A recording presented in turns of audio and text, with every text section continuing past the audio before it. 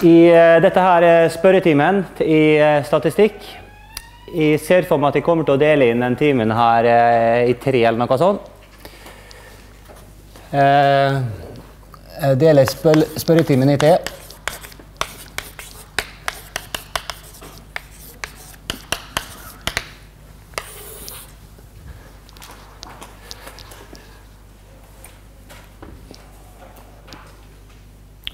Får på disse her igjen. Tavlelyset. Jeg vet ikke om jeg husker. Dere ser vel. Eh, Det første så skal jeg bare ha generell info. Og skal jeg bare si litt om eksamen. Og vi har sågar førstesida oppe på eh, prosjektøren.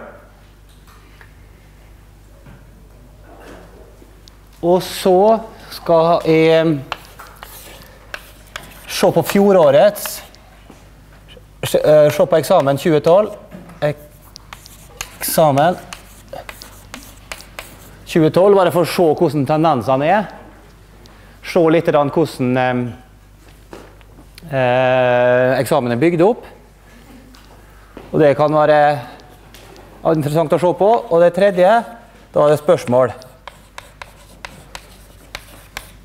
Og da er det helt åpent. Bare spør under, underveis òg, selvfølgelig. Men i session 3 så er det bare å fyre løs. Og da er det alt fra praktiske spørsmål til spørsmål angående oppgavene. Eh, kanskje vi kan ta, liksom, diskutere de prinsippene litt på tavla her. Eller på prosjektøren, eller begge deler. Så det er den tredelinga jeg har tenkt å, å gjøre i dag. Høres det greit ut?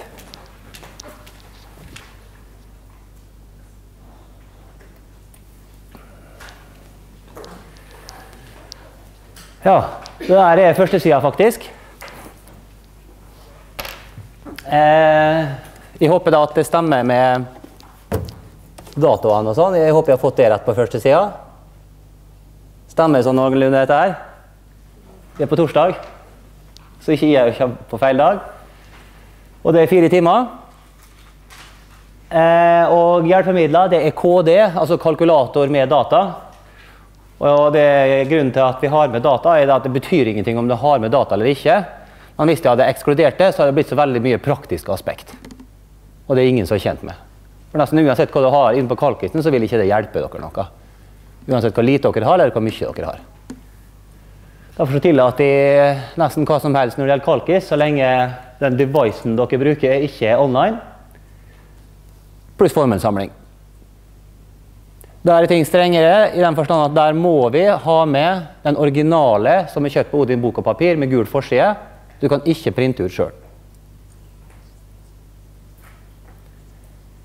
Så den blir kjøpt på Odin bok og papir, og det er lov å ha med formelsamling. Men som sagt, bare originalen som kjøpes på Odin bok og papir, og den må dere ha. Og den trenger dere gjennom hele eksamenen. Formelsamlinga. Den blir viktig. Det er også lov å skrive komment egne kommentarer og underlines og sånne ting på eh, for formelsamlinga. Omtrent i samme stil som vi har gjort i forelesningene. Her har vi skrevet egne kommentarer på ting. Formulert det med egne ord.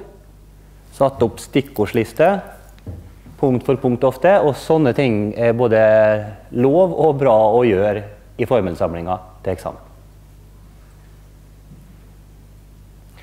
Men ikke skrive ned liksom, eh, et helt eksempel, en hel bok, slik at det, det liksom eh, ikke er noe kvitt hvitt ark igjen. Altså. Det er highlighting og småting, det er det som er meninga.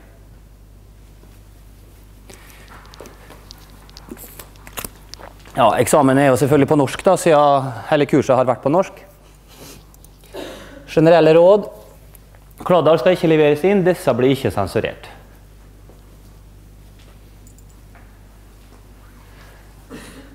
Det er stor forskjell på hvor rask eller eh, sein folk er til å, å gjøre oppgavene. Eh, men eh, i den grad det lar seg gjøre, så prøv liksom å føre rett inn. Eh, og så er det bare å kaste arket hvis du ser at dette går ikke. For hvis du skal kladde hele eksamenen og så føre inn, så blir det, om det ikke blir dobbelt opp, da, så blir det ganske mye ekstraarbeid. da. Man tar hva dere vurderer sjøl hva dere syns er best. Det er dere som bestemmer. Man har kladde veldig veldig mye for å så føre inn på slutten, og så blir det litt, eh, litt av tid. Det, er- det er viktig liksom å komme seg gjennom eksamen.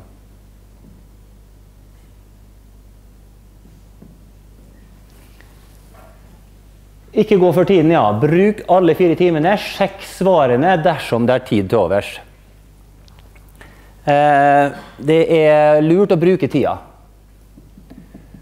Så det er vel anvendt fire timer av ungdomstida dere til å være på eksamen, og ikke gå en, eh, etter tre timer om dere er ferdige. Bruk gjerne tida til å sjekke. Det kan være lurt. Det tror jeg det kan være verdt. Det er totalt fire oppgaver også i år, sånn som det var i fjor. Og i gjennomsnitt, altså, og det vet vi hva betyr nå I gjennomsnitt så har vi har du én time per oppgave. Og vi som er statistikere, vi skjønner da at det, betyr ikke at vi må bruke akkurat en time per oppgave. Vi kan bruke litt mer enn en time på den ene og litt mindre på den andre. Men i snitt så har vi en time per oppgave. Så allerede der så er første oppgave det er å forstå hva snitt betyr.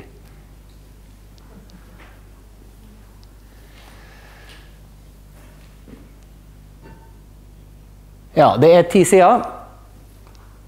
Og så er det et vedlegg. Det vedlegget er i samme stil som vi har gjort i øvingene. Eh, husk også på én ting. Øverste høyre på vedlegget har sagt eksplisitt at dere skal skrive på studentnummer. Så gjør det helt øverste høyre. Da står det studentnummer og sånn strek. Og så skriver dere bare på studentnummeret på begge sidene.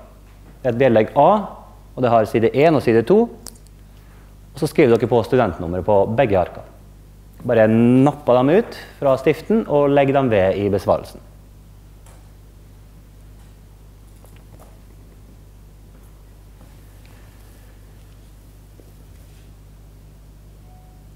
Uh, ja, er det spørsmål til punkt 1? Er det spørsmål til det jeg har sagt så langt?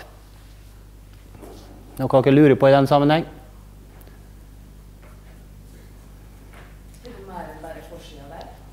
Vi har mer enn forsida der? Jeg tenkte jeg skulle gå gjennom resten nå etterpå.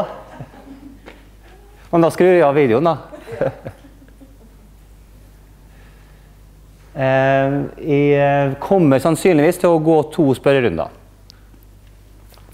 Så jeg kommer til å gå en eh, i rundt titida, drøyt ti. Og så en rundt tolv.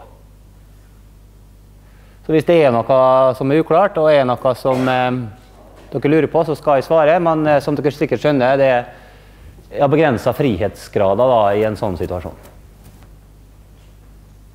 Men jeg kommer til å sannsynligvis gå to, to runder, da, just in case.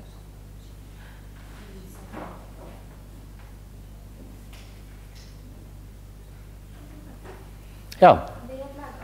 Ja. Skal vi da føre dem, for det står jo på fremsiden står at du skal føre hvor mange sider du har skrevet. Så vi da legger dem til. Altså, hvis du har skrevet fire sider på eksamen, og så har du to sider der, så du skriver seks sider. Ja, jeg er faktisk litt usikker. Altså Spørsmålet går ut, går ut på da, når du har vedlegg, så får du to ekstra sider. Og så skal du skrive på hvor mange sider du har totalt, er det ikke det? Jeg tror det. Så jeg tror svaret er ja, og du må inkludere dem. Så hvis du har 20 sider, så har du to vedlegg, så blir det totalt 22. Så- For å skrive 10 pluss 2 hvis du har 10 håndskrevne sider, altså. Ja. 10 pluss 2. Så det er to måter å gjøre det på. da. Den som skriver antall, det var et godt sagt. Altså, det er faktisk det jeg har gjort sjøl. Antall sider. Antall sider. Altså det Vi kan gjøre det sånn, da. Altså totalt Totalt 22 sider. Eller to 20 sider pluss Hvordan har vi gjort det her, da? pluss to sider vedlegg.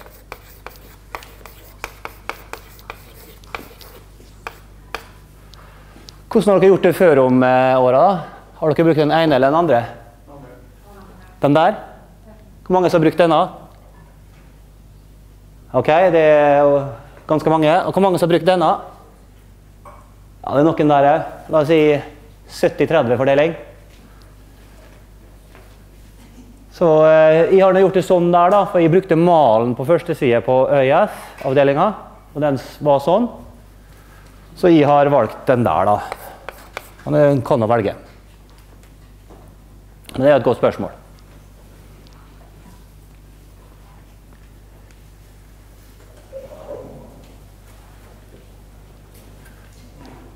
Er det andre spørsmål i forbindelse med det praktiske når det gjelder generell info?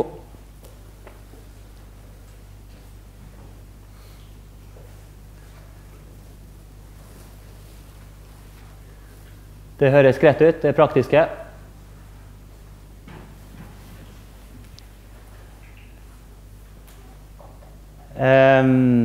Ja, skriv så kort som mulig, egentlig. Hvis vi ser på øvingene og ser på gamle eksamensoppgaver, jeg skal se litt på det etterpå, så ser vi at det er ganske korte svar. Og det er det i år òg, altså. Jeg ser, på, jeg ser på eksamenen, og da ser jeg at det er ganske korte svar. Slik at hvis du skriver veldig, veldig mye, så eh, tenker du at okay, her er sikkert lurt og faktisk bedre å skrive lite. Altså, så. Det er en ganske for så vidt kort eksamen, i den forstand at det er lite å skrive. Eh, Det jeg også kan si, er at jeg bruker fortsatt eh, mye fotnoter. Det gjør jeg. Så jeg gir dere en del tips og hint. Så alltid når dere ser fotnoter, dem må dere se. Eh, av og til så har jeg sett når vi har gjort øvinger, at det er noen som ikke oppdager at det var en fotnote der. Det lille tallet, og så skal du se helt nederst. Det er viktig å, å gjøre på eksamen, for der får du gode tips. Og så gjør jeg også sånn som eh, eh, vi har gjort da, eh, på øvingene. Hvis jeg bare ser på en, eh, en eksamen fra i fjor Den der. Så ser du da at jeg skriver på toppen litt hva det dreier seg om, da, om det er logistikk eller økonomi, og litt hva det dreier seg om, slik at du vet hvilken planet denne oppgaven her tilhører.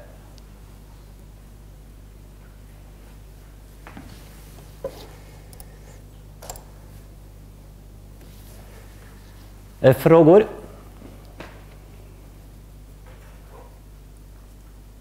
Om dere har spørsmål etter hvert, så er det bare å komme videre da, og gå tilbake igjen til det her. Eksamen 2012 den skal vi definitivt ikke gå gjennom, men skal bare gå gjennom og kommentere litt hvordan eksamen er oppbygd, slik at vi på en måte vet hva vi eh, går i møte.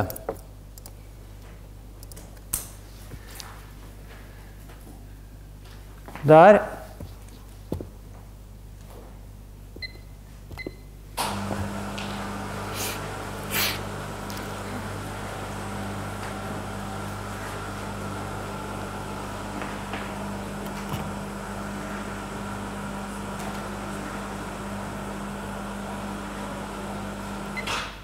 Det var også fire timer i fjor, og du ser det ganske likt. da. Der var det elleve sider i fjor og ett vedlegg.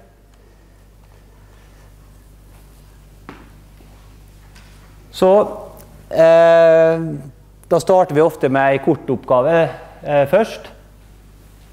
Og så tror jeg også sånn faktisk at jeg bygde opp rekkefølgen ting. Jeg har ikke blanda rekkefølgen. Det har jeg ikke gjort. Jeg har eh, gjort det slik at eh, vi starter liksom tidlig i boka, og så ender vi på slutten av boka, eller kompendiet. Slik at eksamen gjenspeiler, sånn som jeg har sagt, kurset på mange måter. Det gjenspeiler at eh, fremdrifta er kronologisk. Det gjenspeiler øvingene. Eh, og det gjenspeiler på en måte eh, stilen, i den forstand at både tipsa er der, måten å spørre ting på er ganske likt. Eh, og jeg har sagt det før, og det sier igjen, at dem som har gjort øvingene, løst øvingene sammen med løsningsforslaget gjerne, gjort alle øvingene, fått godkjent dem, regnet øvinga en gang til før eksamen, Løs de to eksamenene som ligger ute og som laga med, både hovedeksamen den her og konten, ligger godt an. Så f.eks. på eh, ja, i morgen så vil jeg anbefale dere å simulere en eksamen. Ta en av disse to, sett av fire timer, regn det. Etter at dere og ikke sitte over tida, altså hvis dere eh, bruker bare 3,5, så er det greit, men ikke sitte over tida. Og så har jeg lyst til at dere skal gjøre en ting. Rett deres egen eksamen og sett karakter på dere sjøl. Jeg er ikke noe sånne em, psykologiske til å si av de sånne motivasjonsteorier, men en ting har jeg fått med meg av det som kalles selvregulering. Altså det å overvåke seg sjøl, altså self-monitoring. Det er ofte ekstremt effektivt hva læring angår. Så min anbefaling i morgen er tirsdag. Da har dere en eh, hel dag fri. Dere har ikke eksamen i morgen. Ingen eksamen i morgen. Hvor mange har gjort eh, en av eksamenene allerede? Regna gjennom dem? Ok. Hvem har regnet gjennom begge to? Ok, Det er ikke så veldig mange, men noen. Så de fleste av dere, velg en eksamen. Om dere har gjort det før, regn gjerne en gang til med fire timer. Og så retter dere dere sjøl med fasit. Og vær heller litt brutal med dere sjøl. Og om dere står fast, ikke gå på fasiten før etter de fire timene. For det er mye bedre at du går på en smell i morgen enn at det smeller på torsdag. For det, i fall, Jeg har gjort det der sjøl i mine glansdager, og jeg husker det at jeg var så irritert på meg sjøl når jeg simulerte en eksamen, at var det en ting jeg huska når jeg kom på eksamen, så var det den smellen jeg gikk på for to dager siden. Og jeg liksom kjente å juble da jeg kom på eksamen. Jeg har noe lignende, dette har jeg vært ute for før. Der vet jeg hva, eh, hva læreren er på jakt etter. Og jeg sto der liksom bare og var liksom rimelig happy på eksamen. da. Og det var fordi jeg huska at det gikk på en smell to dager før. Så selvregulering og sett karakter på dere sjøl. Skal vi se, da. Eh, skal bare sånn grovt sett da, hvordan du skal sette karakter på dere sjøl. Men jeg husker det ikke helt, da. Men eh, fra 100% til 90% så får du en A. Og så fra 89% til, til 79 Nei, til 80% så har du en B. Og så tror jeg det er 79 70, 60 til 59 80 Jeg tror det. En C. Eh, til 60, og så tror de det er 59 til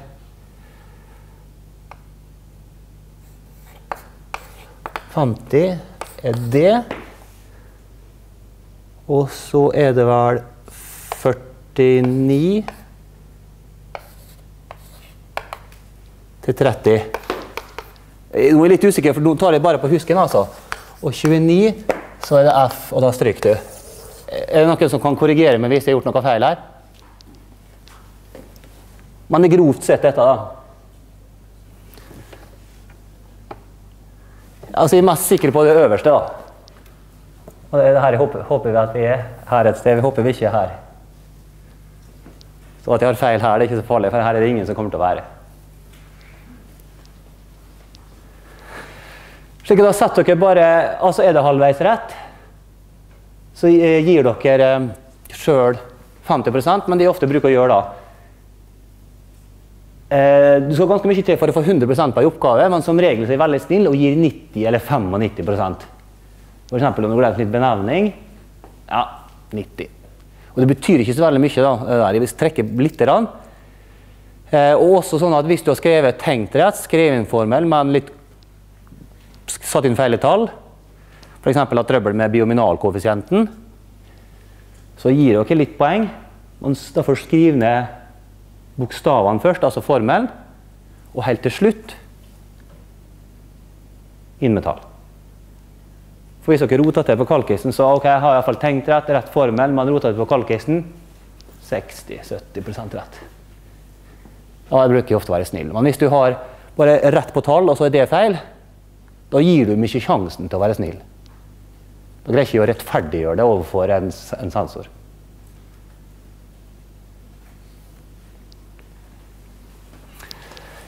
Så jeg skriver opp det her. Selvregulering.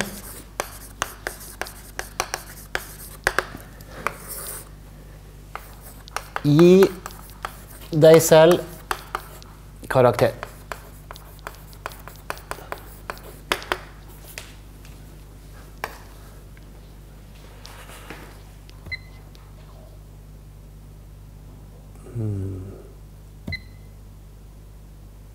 Jeg skulle prøve å få på lyset her, men jeg vet ikke om jeg får det på. Tavlelys. Se der. Der kom det, gitt. Så da, det er min klare anbefaling. I morgen har dere eksamen i statistikk. Dere har den eksamen her. Så da starter vi med oppgave én. Det er liksom å komme litt i gang. Og eh, I fjor så dreier det seg om sannsynlighetsregning. da. Det var noen spørsmål om setninga. Så eh, oppgave to det er litt med betinga sannsynlighet og økonomi. Så eh, da ser vi litt hva det her betyr. Den streken, hva det betyr. At det er gitt at strek. Betinga sannsynlighet. Og vi skal da regne ut ymse sannsynligheter. Vi skulle tegne et Venn-diagram. Og du ser at av og til så bare har jeg et spørsmål. Altså Det står ikke hva matematikkuttrykk du skal finne. Så da har jeg liksom to muligheter.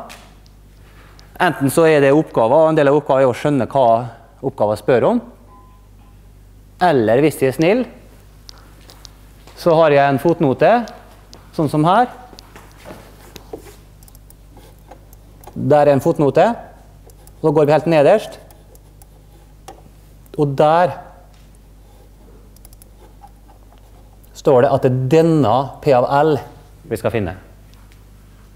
Så da har jeg vært snill med dere og oversatt norskspørsmålet, som står bare med vanlige ord, og oversatt det til matematikkspråk. P av L. Så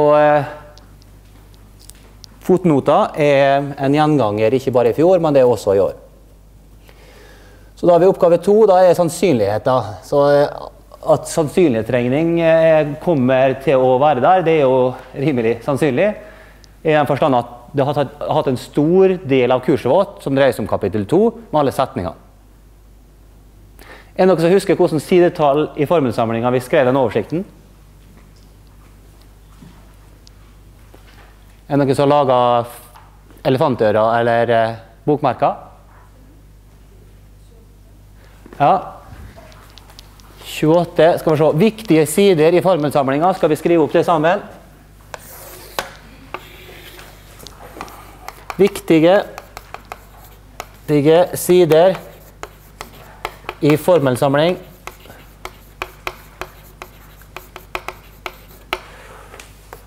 Én, to, tre Oi sann, fire. Vi hadde i hvert fall fire viktige. Hva var den første viktige? Side 28, ja. Der var en tabell, var det ikke det?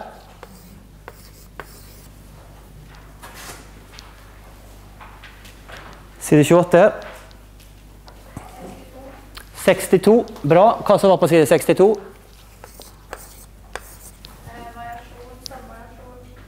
Ja, det var en tabell og oversikt over variasjon og samvariasjon og korrelasjon og sånne ting. Bra. Eh, neste viktige side? 86. Side 86. Hva som står på side 86?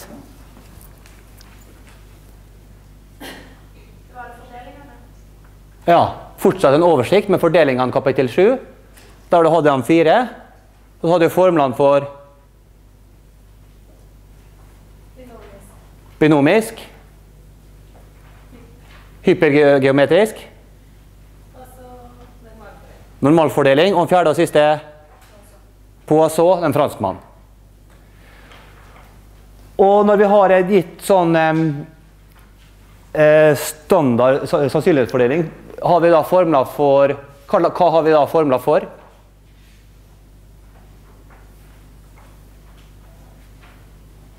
Forventning og Ja. Forventning og variasjon. Eller forventning og varians, bruker vi ofte å si. Det stemmer. Så da, de var ganske enkle i de forskjellige situasjonene. Er det noen som husker i hodet hva forventninga til binomisk fordeling var? Nils ganger Petter. Det stemmer. Bra. Så hadde det vært ei side til, tror jeg. 48. Hva som var på side 48? ja? Ja, det vil jeg faktisk si. Side 48, ja. Så da, det er helt riktig. Så da vil jeg ha en femte da, her. Kommer utafor. Side 81. Riktig. Tabell. Den må vi vite. Den må vi vite. Og eh, hva er det den tabellen gir oss? Hva slags uttrykk er det den gir oss?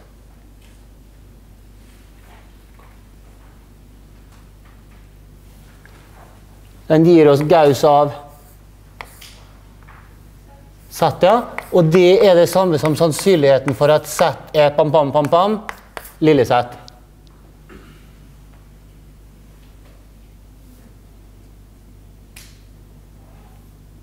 Skal det stå større enn eller mindre enn her? Mindre enn, ja. Det skal det, så jeg tror vi tar den i rødt. Mindre enn er lik sånn. Mindre enn. Mindre enn.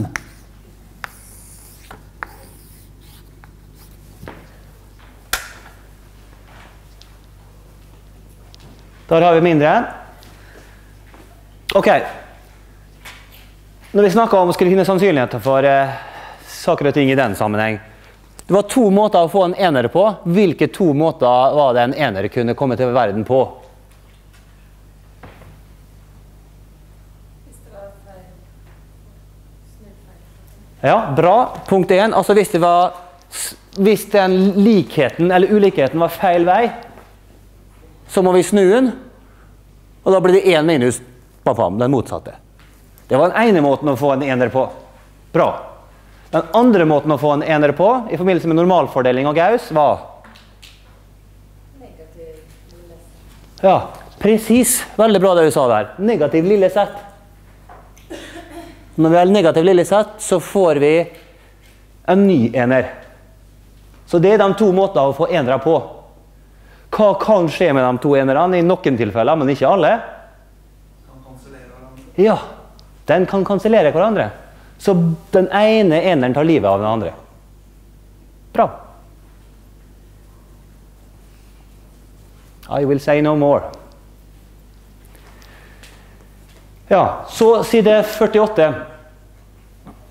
Eh, hva det var for noe? Det var Ja. Det er helt rett. La meg si litt på om det der. Det er en ting jeg vil dere skal nesten ha i hodet. Hvis dere har La oss si at vi har en, en stor F er lik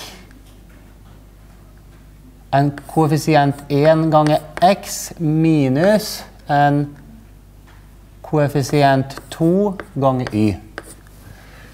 Da sier jeg at dette er en stokastisk variabel. og hvordan, eh, Hva vil dere si om eh, store eller små bokstaver her? Hva gjør at dere tror at dette er en stokastisk variabel, notasjonsmessig?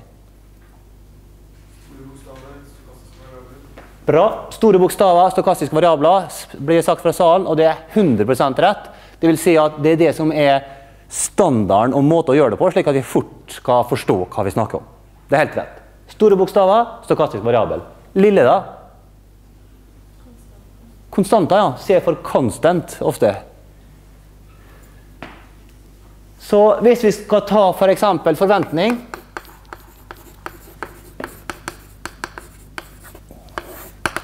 Vi skal ta expectation da, av F. Hvis vi skal ta forventning av en sånn ting, hva gjør vi da?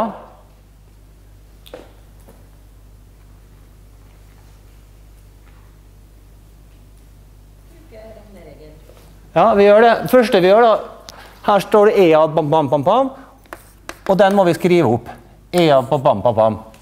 Men istedenfor F da, så putter vi inn for F her nå, og derfor lager jeg stor avstand mellom hakkeparentesene.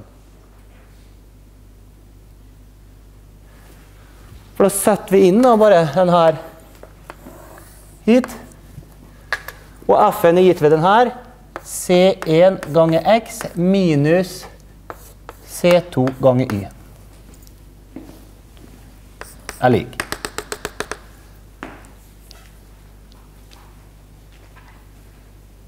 So far, so good. Hva gjør vi nå? Den der en her som nesten er som en oper operasjon eller en operator, så, vil si, så blir ofte sagt i litt tyngre matematikk. Den ene her, hva er det den virker på? Virker den på konstanter, eller virker den på stokastiske variabler, eller virker den på, har den effekt på bare en av dem? Ja, bare på de store, ja. Bare på de stokastiske. Så den ene her, den virker på, eller sagt på en annen måte, har effekt på bare stokastiske variabler. Så den karen her, den har Nei, nå ble det litt rotete. Den karen her, den har effekt bare på den og på den. Slik at den her lille c-en kan vi bare sette utafor. Da får vi C1 ganger E av x. Så står det minus der. C2 ganger E av y.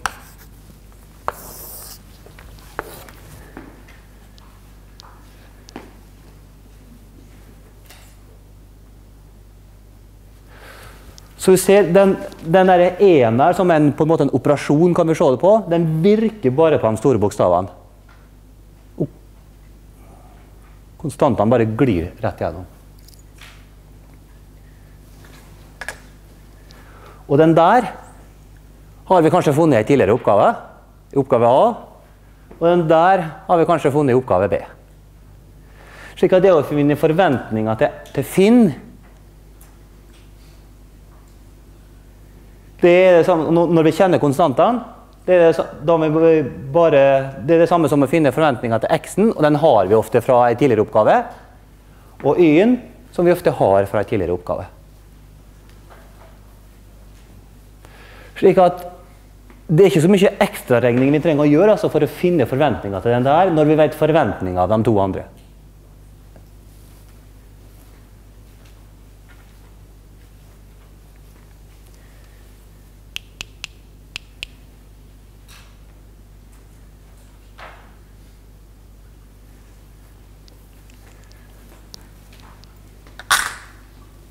Har vi noen tilsvarende regneregler for varians?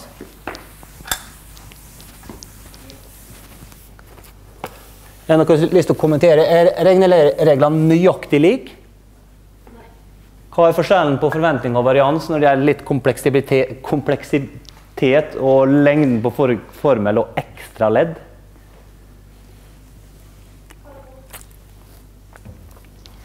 La oss eh, Ja, det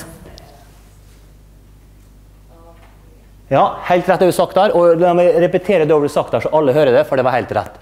La oss si nå at vi skal finne varians. Vi skal finne varians av den samme tingen der, av den samme stokastiske variabelen.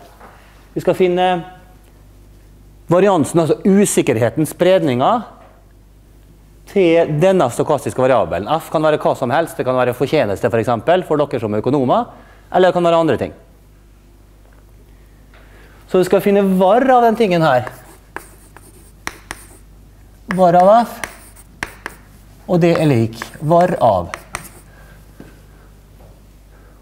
Og så, så langt har vi ikke gjort noen regning, og så langt har vi ikke tatt stilling til om, om eh, de stokastiske variablene er uavhengige eller ikke.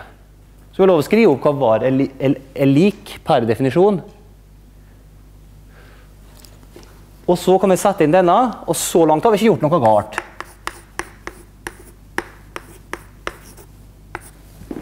Vi har ikke gjort noe spesiell regning så langt. Vi har ikke brukt noen regneregler enda. Vi har bare satt inn hva ting er, uten å ha gjort noe regning. Men neste steg nå Da er det sånn at da må vi på en måte vite om hva er uavhengig. Hva vi må vite nå for å gå et steg videre? Ja, Om de er uavhengige eller ikke. det er helt rett. Og hva er det som skal være uavhengig? Hvilke stokastiske variabler er det som må være uavhengige for at vi på en enkel måte skulle kunne gå videre nå? X og Y, ja. Så dersom disse er uavhengige, Da blir det enkel regning, og vi kommer fort i mål. Men hvis de ikke er uavhengige, da får vi et ekstraleid med kovarians. Right? Er det noen som kan hjelpe med å finne sidetallet til det der i formelsamlinga? 60 blir det sagt. Da går vi på side 60. Se der. Der er vi på side 60. Så la oss anta Så anta uavhengig. Så nå kommer den overgangen. Da er vi eksplisitt nødt å anta uavhengighet. La oss se hvordan det her har, har blitt gjort i en gammel eksamensoppgave. Bare for å se hvordan eh, typisk kan ha blitt gjort.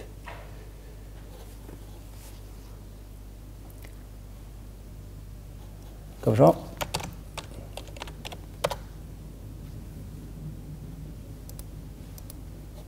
Sånn. Ja, du ser her Her har vi liksom eksplisitt satt i dette tilfellet at de er uavhengige. Slik at eh, Hvis vi skal regne ut en sånn ting, så må vi se i oppgaven om det står et sted eksplisitt at variablene er uavhengige. Så dersom x og y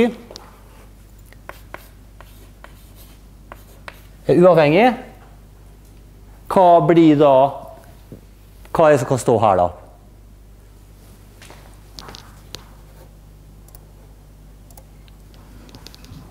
Hva skal stå her?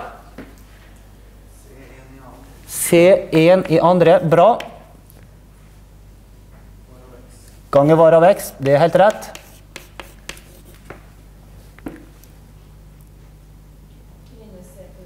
Bra. Minus C til andre gange. Kanonbra. Gange var av i. Pluss null om vi vil, for det det leddet her er null. Når de er uavhengige, det er den sterke antakelsen. Da er også, de er også norgesmestere. Og da forsvinner den.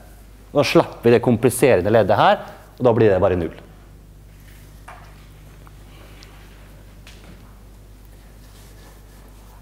Bra.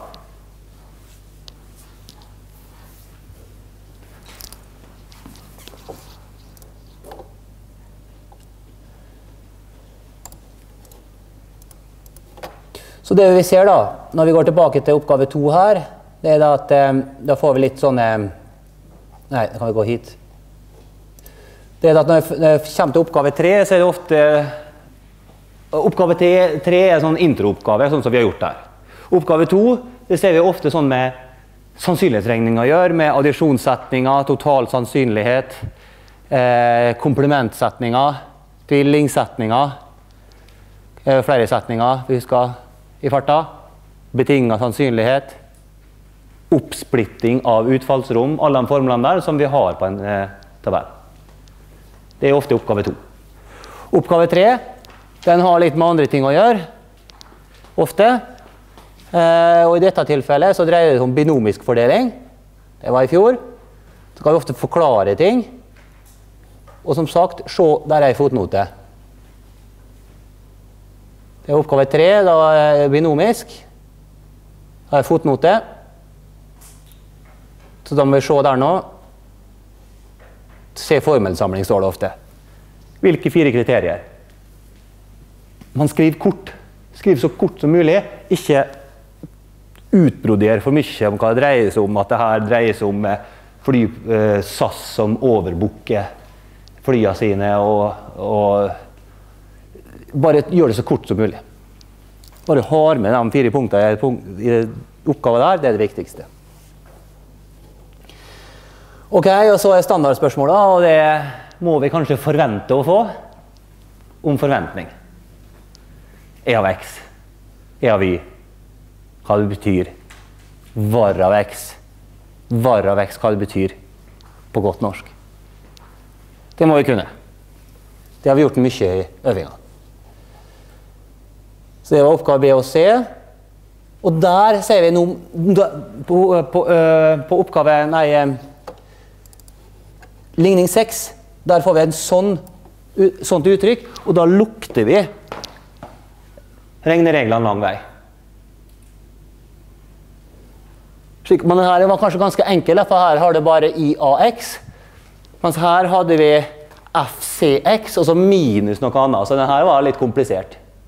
Så den var kanskje enda enklere. Men det er regnereglene vi bruker der. Så hvis vi skal finne variansen av I for inntekt i denne sammenheng, da blir det A opphøyd i andre. Men hvis, hvis vi skal finne forventninger, da blir det bare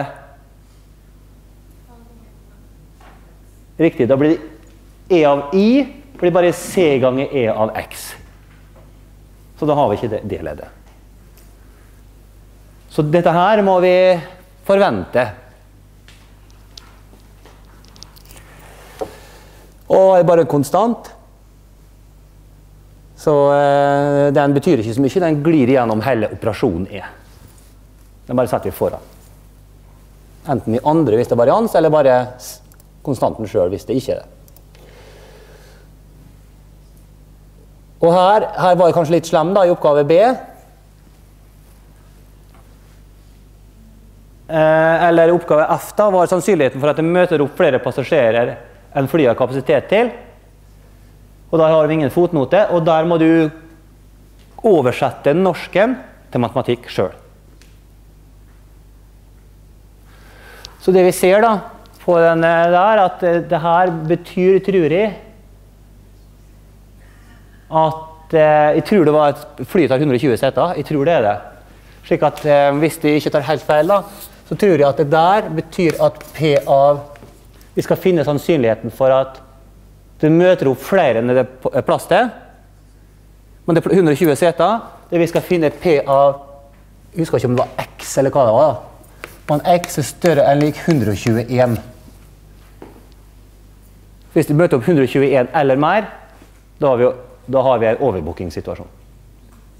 Så der måtte vi oversette fra Nei, søren, jeg hadde faktisk hjulpet dere der. Jeg hadde faktisk gjort det. Der ser du det. Ja. Men eh, vi kan være snill, eller vi kan være ikke snill, da.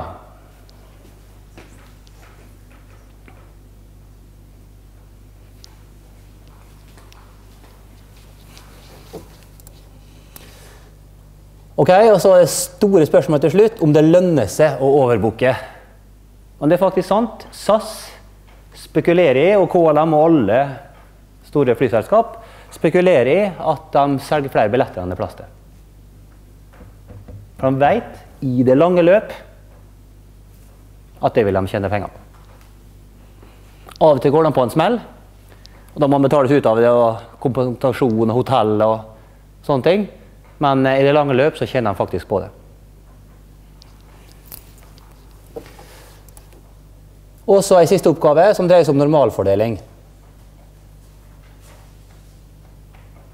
Nei, her var det fem oppgaver. Det var en sånn tegneoppgave her. Da skal du tegne bredden, halvbredden. Du, eh, det er to ting i forbindelse med normalfordeling som er viktig. Det ene er hvor, ting, hvor tyngdepunktet er plassert hen. Det er liksom forventninga. Det er på mitt. da. Og andre er liksom bredden. Så hvis du er veldig brei sannsynlighetsfordeling, er det stor eller liten usikkerhet da? Stor usikkerhet. Og hvis den er veldig smal, da er det liten usikkerhet. Da vet vi at det er stor sannsynlighet for at verdien faktisk er i tyngdepunktet på midten. Og så var det en oppgave her. Og der var en sånn tabelloppgave. Så det er to typer, veldig enkelt, veldig forenkla sagt, iallfall i vårt kurs, så er det to typer oppgaver. Det er når vi har en tabell. Det er det ene. Og hva er den andre situasjonen?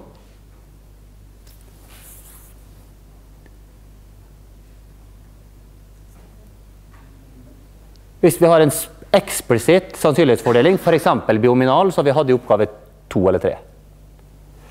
Hvis det er tabell sånn som dette, og vi skal regne forventning, hva må vi gjøre da?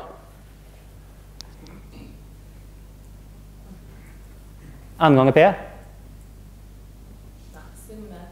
Da må vi summere og bruke definisjon. Og da er det mye hardt arbeid, rett og slett. Og da er det viktig å gjøre det systematisk og forsiktig, slik at vi ikke mister noe ledd. Da bruker vi definisjon. Ok, og Hvis det er eksplisitt sannsynlighetsfordeling, da, hvordan finner vi forventninger da? For eksempel, eh, for eksempel eh, Poisson-fordeling. Hva er forventninga da?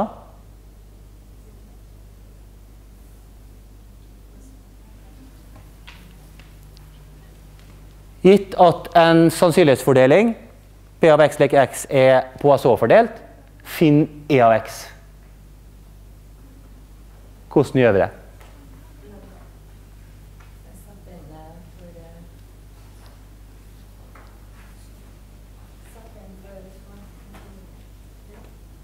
Hvilken parameter har Poisson-fordelinga? Hvor mange parametere har Poisson-fordelinga? Én, ja. Og det er lambda, ja. Og landet er ofte oppgitt. Men la oss si at den er 2,7. Hva er forventninga? 2,7. Så hvis det er eksplisitt fordeling, så er det veldig enkelt å finne til saker og ting. Hvis vi har en tabell sånn som dette, da er det mm, litt mer regning.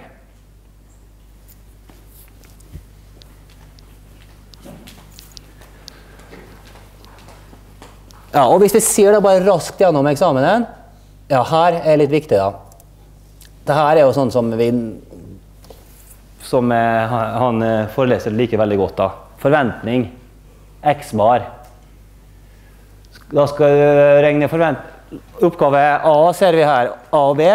Her ser vi Finn E av X. Det er jo enkelt. For det er bare å sette inn intervall og, så videre, og regne på. Var av X er også standard måte å gjøre ting på. Men hvis vi skal finne E av X bar og var av X bar, hvordan gjør vi det?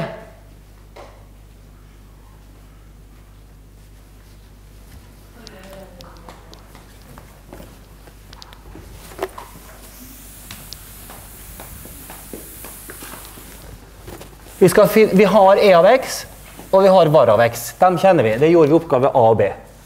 Og nå i oppgave C og D så skal vi finne E av X bar og var av X bar. Hvordan gjør vi det?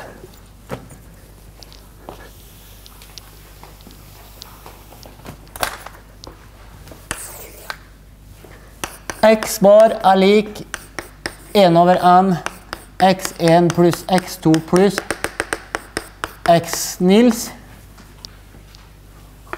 Oppgave A. Finn E av x bar. Hvordan gjør vi det?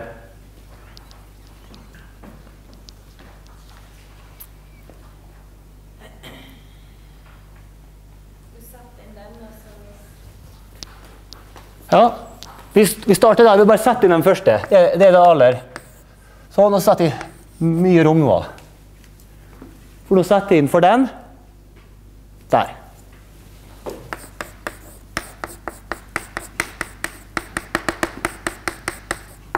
Sånn.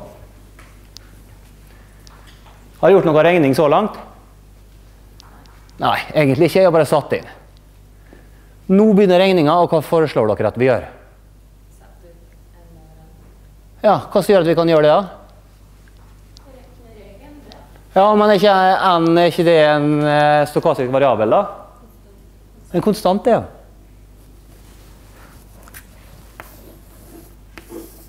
Så da tar vi bare den utafor, da. Da har vi 1 over n, og så e av x1 pluss x2 pluss Sånn. OK? Da har vi gjort et steg. Gjelder det her alltid, eller må vi anta uavhengighet nå, eller betyr det ingenting? Alltid. For det å sette en konstant utafor har ikke noe med uavhengighet å gjøre. Konstanten kan vi nesten gjøre hva vi vil med. Det er det vi er minst redd for her i livet. Hva skjer nå?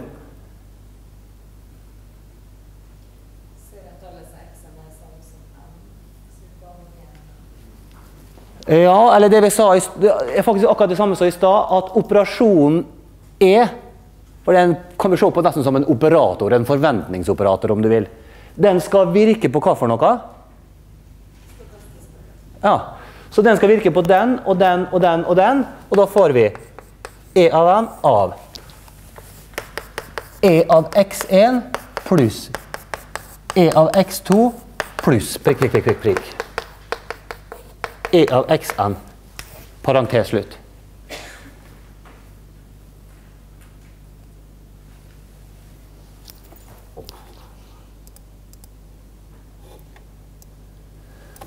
Og da ser vi det at den op operatoren der, den virker bare, den har bare påvirkningskraft på hver x-an, mens konstanten betyr ingenting. Så den virker på hver enkelt x. Hva skjer nå?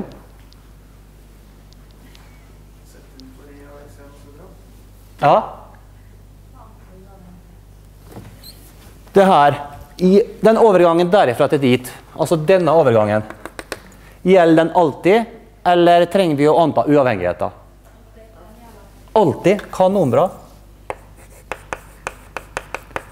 Det gjelder alltid.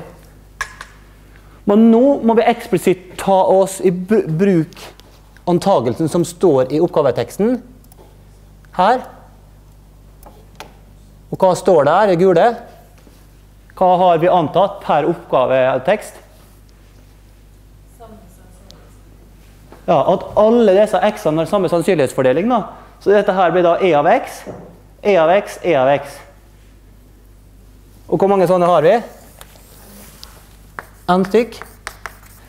Og da får vi 1 over n ganger n ganger e av x. Får vi n stykker. Og hva skjer med n? Ja.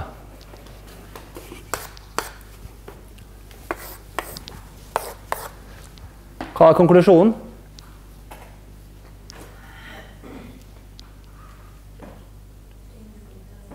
Ja, altså Tyngdepunktet til 1x er det samme som tyngdepunktet til gjennomsnittet.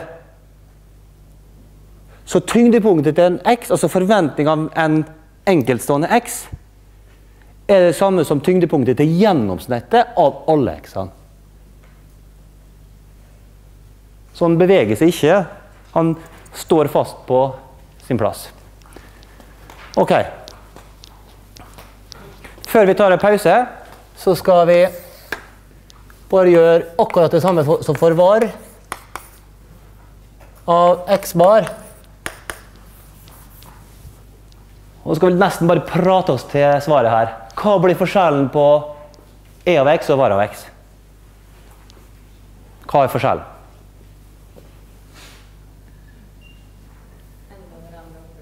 Ja, kanonbra. Og det var sikkert ingen som hørte, men det var 100 rett, så jeg sier det. Når den kommer over, og det var her og ikke er, da blir det 1 over n i n i andre. Det er kanonbra. Det er helt rett. Så får vi andre der. Og så har vi en tilsvarende overgangen der. Hva må vi anta her? Eller er det noe som alltid gjelder? Der må vi ha uavhengighet når vi har varians. Så må vi ha uavhengighet. Har vi det, eller? Det er jo det vi har antatt her.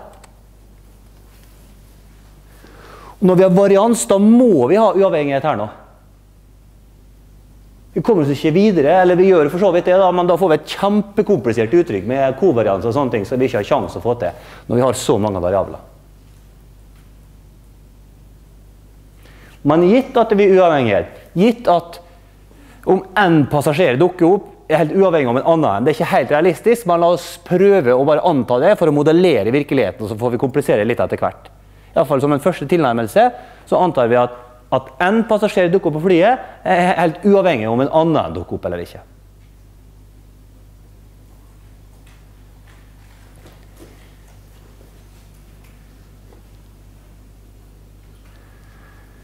Ok, Så da får vi en over n i andre der. Og hva, er over, hva blir bunnlinja, og hva blir sluttsvaret?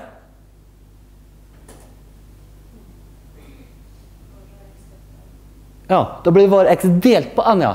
Så det er én n som overlever når det er varians. Det er én n som overlever når det er varians, og det er ekstremt viktig. Så hva er konklusjonen?